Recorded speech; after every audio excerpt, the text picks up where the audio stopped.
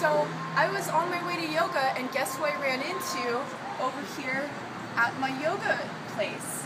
This is Headless Hannah, and she was competing for the role that Priya Rai ended up getting for the ISIS Rising movie. ISIS Rising was made by Tomcat Films. You can find it on tomcatfilms.com. And who ended up winning the role against poor Headless Hannah here is Priya Rai, who's an international porn superstar beautiful Indian woman, and she's playing a mummy who does very mummy-like things. Check it out for yourself on YouTube under Tomcat Films, ISIS Rising. Bye guys!